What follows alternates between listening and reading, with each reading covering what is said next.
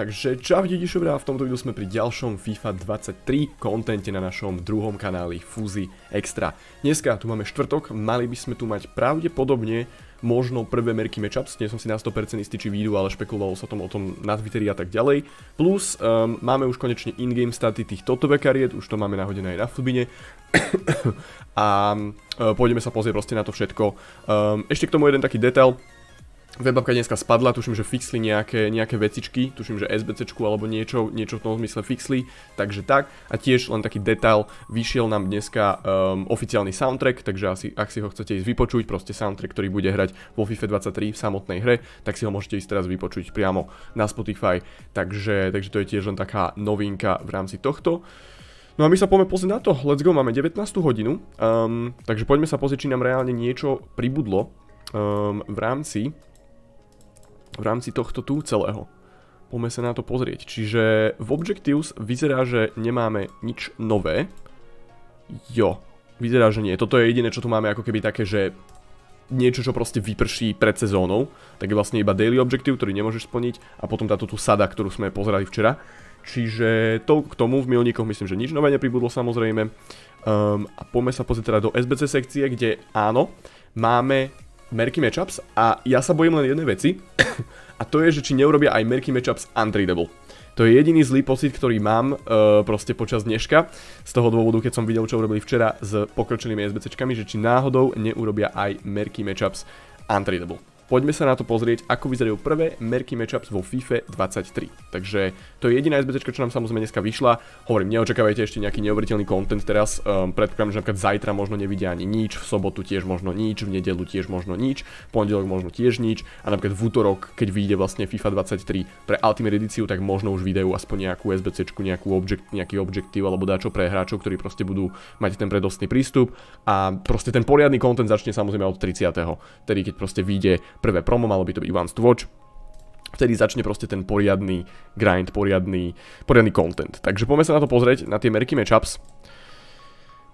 OK, uh, ak to chápem správne, je to tradable, že? Prémiový balíček zlatých hráčov ľudia, to je 25k pek, to by malo byť tradable, to by malo byť v poriadku. Čiže 25k pek tradable za všetky 4 proste SBCčky.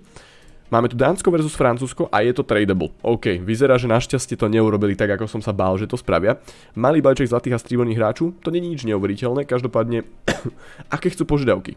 Minimálne jeden hráč z Dánsko nebo Francie, max národnosti v týmu 6, OK, min 3 hráči stříbro, zaujímavé, min 1 hráči vzácni, min počet celkových bodov souhry týmu 14. OK, takže budeš potrebovať 14 chem z 33, to by nemalo byť až také ťažké, keďže potrebuješ max národnosti v týmu 6, takže nejaké národnostné linky tam budeš mať. Zaujímavé je tá požiadavka, že minimálne 3 striebro. Myslím, že také požiadavky sme reálne nikdy nemali. Mali sme akože možno, že napríklad minimálne 3 zlato, ale že minimálne 3 striebro a nie je tu žiadny rating, vieš? Väčšinou nám dali napríklad, že 65 rating požiadavka a napríklad minimálne 2 zlatý alebo dačo také, ale teraz nám proste nedali žiadny rating, ale dali tu, že minimálne traja hráči stříbro. Čo znamená, že musia to byť vyslovene strieborní. Čiže nemôžeš tu dať goldov, proste priamo strieborných. Čiže to možno urobiť s marketom pár takých vecí, že tie strieborné karty pôjdu hore, lebo sú celkom zácne, keďže ich nemáš moc kade peknúť, tradable. Hej, aktuálne reálne môžeš ich získať samozrejme z Silver Packu, ktorý si môžeš kúpiť v store a inak nemáš moc kade získať tradable Silver Pack. Takže to je trošku možno problém, um, hneď táto prvá požiadavka. Ďalej tu máme e, Nizozemsko Belgie, kde máme jedenkrát smíšení hráči, čo tiež není moc dobrý pack, to je tuším, že 4 zlatý, 4 strieborný, 4 bronzový a asi iba jeden rare hráč, takže nič moc pack. Minimálne dvaja hráči z Nizozemsko nebo Belgie, ok, minimálne likt v týmu 3. Kvalita hráčov Minsk Číbrna, ok, to už, to už dáva zmysel a minimálne dvaja hráči vzácni. Jo. Takže toto už sú také podobnejšie požiadavky, čo sme mali aj minulý rok. Čiže nemáme tu rating, ale proste minimálne strieborných hráčov musíš použiť, takže buď strieborných alebo zlatých, čo bude pre teba lacnejšie. Minimálne dvaja vzácni a 18 uh, e, bodov chemistry, čo tiež nemalo by byť až také ťažké. Hej, samozrejme, ak chcete získať bodové, uh, ak chcete získať vôbec nejakú chemistry, tak musíte dbať na to, že musíte dávať hráča na správnu pozíciu. Čiže keď spravíte, že na EZ dáte Kovačiča, tak vidíte, bude linkovať, bude to fungovať. Ja tu proste len tak niekoho šupnem, aby som vám to ukázal. Um, neviem, s kým by nám to teraz linkovalo, ale napríklad títo dvaja Francúzi, um, môžeme vidieť, že linkujú, jo? majú obidva jednu chem. Ale teraz, keď ho dám sem, tak nelinkuje žiadny z nich, lebo tento nedáva ani nedostáva linky. Takže len taká jedna vec, na ktorú musíte myslieť aj pri stávaní SBCčiek, aj pri stávaní tímov. Keď dáte proste hráča mimo svojho pozície, tak nemôže ani dávať, ani dostávať linky, hej. Že už to nebude ako minulé Fifi, keď si dal proste brankára na hrot, tak stále vlastne dával linky, stále ti dal strong link napríklad do zálohy, hej. Že tu keby som ho mal minulú Fifu, tak stále ti dá, dá ti tu proste link, dá ti tu strong link, nie? Lebo sú zo séria. Jo, dá ti to proste strong. Strong. Tento raz už ti to nedá nič, takže musíte myslieť na to, že keď budete stavať SBCčky, tak musíte dávať tých hráčov na správne pozície aby ste získali tú potrebnú chem. Potom, keď už budete mať viac chemistry, tak jasne môžete to proste pouberať, ale aby ste získali tých 18 chem, tak proste nemôžeš dať EZZ na EZ. Môžeš tam dať EZZ na EZ a môžeš mu potom zmeniť pozíciu, keby si chcel, ale to by som osobne neodporúčal z toho dôvodu, že ak sa nemýlim, tak zmena postu stojí dosť. Myslím, že to stojí celkom dosť. Jo, zmena pozície ľudia, ak nejakú máte, tradable, tak by som ju odporúčil predať. Um, a ak toto, ak máte nejakú untradable, tak OK. Potom v nejakom výnimočnom prípade to kľudne využite. Každopádne vidíte, že má hodnotu 2300, takže by som to nepoužíval pri merky matchups. Hej, proste tradable určite nie. Tradable, ak nejaké máte v klube, určite odporúčam predať. Takže toľko k tomu, toto je ďalšia SBCčka. Nič moc pek, takže tiež neviem, či sa to nejak veľmi oplatí spraviť popravde. A potom Portugalsko, Španielsko, tu máme malý prvočný balíček zlatých hráčov, to už je solidné, to už je celkom pohodičke pek. Minimálne jeden hráč z Portugalska, jeden hráč zo Španielska, minimálne klub v týmu 5, OK, to by malo byť v pohode. Minimálne dva hráči zácni, minimálne tímové hodnotenie 72 a 22 chemisty. Takže toto už je také podobné minulej FIFA. Minulú FIFA by sme mali niečo takéto a mali by sme tam napríklad, že 70 chemistry alebo 75 chemistry. Takže toto už je také viac um, známe. Toto už nie je žiadna nejaká crazy požiadavka alebo niečo v tom zmysle. Takže pohodičke pek. Toto by som možno napríklad spravil. Um, možno, že spravím celé merky matchup postupne. Ak máte coiny, tak akože kľudne choďte do toho samozrejme, ale robte to efektívne, ne, ne, ne, neprepalujte proste tie ceny, že ne, nechoďte na market a kupujte teraz všetkých proste, ktorí sa vám tam zídu. To by som určite neodporúčal. Každopádne pomocou klubu, ak to viete náhodou nejako spraviť pomocou ideálne antridebl hráčov, tak samozrejme v pohode. Tento pack napríklad podľa mňa je celkom fajn.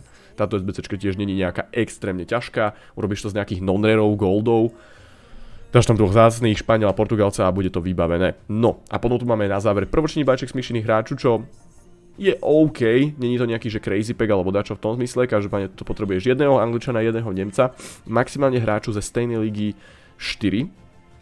OK. Traja vzácný minimálne a minimálne tímové hodnotení 75, takže tiež to vieš urobiť easy s non-rarou, proste z low tier goldov a 26 chemistry, takže 26 chem už je taká zaujímavá vec. 26 chemistry už bude zaujímavé. Proste to urobíš asi nejak tak, že jednoducho dáš tu urobíme príklad len tak, že proste dáš tu napríklad troch, e, štyroch hráčov z Premier League, štyroch hráčov z Bundes a tak ďalej, hej, napríklad počkaj, len tak skúsim to. Nemám nikoho, super, perfektné. Keď sa pozrieme do Premier League alebo dakoho. Um, jo, tak proste náhodíme to tu, jo, že bum bum.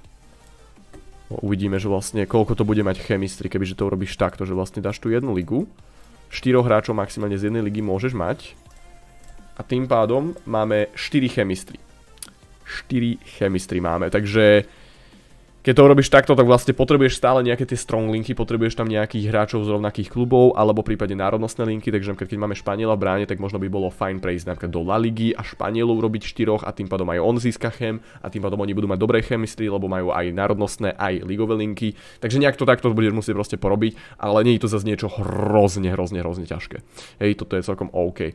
Takže povedal by som, že ak náhodou nechcete robiť všetky, alebo nemáte koiny na všetky, povedal by som, že asi najviac, čo sa oplatí z týchto SBC robiť, ktorú by som som možno urobil ako prvú, tak je asi táto.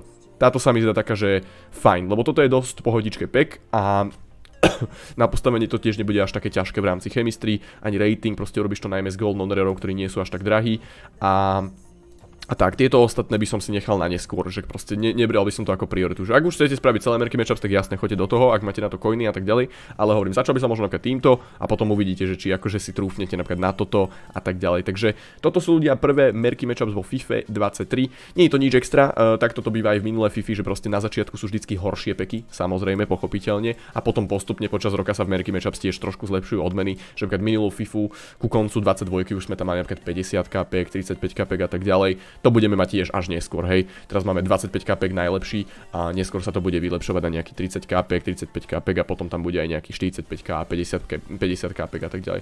Takže ja som aspoň rád, že je to konečne nejaká tradable SBCčka, lebo reálne doteraz sme vlastne mohli robiť iba toto, čo je vlastne untradable, že? Toto je vlastne áno, untradable. Mohli sme robiť vlastne SBCčky, ktoré sú tieto, čo sú všetky untradable po novom. Mohli sme robiť tieto, čo sú všetky untradable, ako vždycky. A, a tak, takže vlastne reálne si nemal žiadny tradable content vydaný a teraz nám konečne niečo dali, takže bude zaujímavé, čo to urobí s marketom. Podľa mňa pôjde určite aj trošku cenovo hore, napríklad Španieli, Portugalci, Dáni, Francúzi a tak ďalej. Takže to bude zaujímavé, aspoň to trošku oživí, dá to nejaký zmysel tej webapke a toľko asi k tomu. Takže to bude všetko na dnes. Pôjdeme sa ešte pozrieť rýchlovke na futbine, či náhodou niečo nové tam tu nepribudlo, čo som nejak zabudol čeknúť alebo dačo. Vyzerá, že nie, ani tu ešte tie merky matchups nenahodili. Um, sú už by the way in-game staty nahodené na tomto, na uh, Food Heroes tu máme tiež um, na Foodbine, takže keď si chcete pozrieť in-game staty v blízkosti, tak takto to nejako vyzerajú. Upgrady sú, tak ako sme pozerali, není tam nič také crazy. Jo, proste sú to plus dvojky, plus jednotky, tuto na Valverde samozrejme máme nejaké tie plus trojky, ale že vidíte, že akože neurobili s nejakou, so žiadnou toto kartou niečo crazy, čo neurobili minulé roky. Jo, takže Takže tak, takže toto upgrady zostali v podstate rovnaké, mám pocit, hej, že nedali tu nejaké, že napríklad plus 5 staminu alebo dačo také, proste sú to také klasické upgrady a toľko asi k tomu. Čiže ešte jedno zaujímavé zistenie som mal, ja som včera vo videu hovoril, že tohto Valverdeho si asi budeš, budeš môcť dať na SZ, a vyzerá, že nebudeš, čo trošku nedáva zmysel. Proste tento Valverde nemôžeš ho hrať na EZ, môžeš ho hrať iba na PK, ale za tohto nemôžeš hrať na PK, tohto môžeš hrať iba na EZ. Takže to je také trošku sklamanie. Myslel som si, že osobne keď dostane karta Inform kart, proste keď bude mať hráč Inform kartu a dostane napríklad PK, tak uh, bude môcť hrať aj tú pôvodnú pozíciu. Že myslel som si osobne, že Valverde bude môcť hrať aj EZ. Takže to je také trošku sklamanie, čo som hovoril vo včerajšom videu, že asi to tak bude fungovať, ale bohužiaľ asi nebude. Takže toľko k tomu. A decid, That's it. Takže to bude všetko k dnešnému trošku kratšiemu videu. Uh, snažil som sa iba proste um, rozobrať tie merky matchups a, a toľko k tomu. Uh, nasledujúce dní tu možno nebudú žiadne videá, lebo možno nevidie žiadny content, predpokladám, že nám toho nejak veľa nevy, nepovydávajú, kým nevidie hra aspoň na Ultimate edíciu, čiže uvidíme. Proste keď nebude videjko, tak to znamená, že asi nevyšlo nič zaujímavé. Díky každopádne za podporu, vidíme sa pravdepodobne o pár dní najneskôr. Určite sem šupni like, daj sem odber a zapni skvacie, aby si neprišiel o denný FIFA 23 content. Minimálne od 39. začíname už proste naplno, lebo vtedy vyjde One Watch promo. Takže toľko k tomu, ja sa s vami lúčim a čaute ľudia.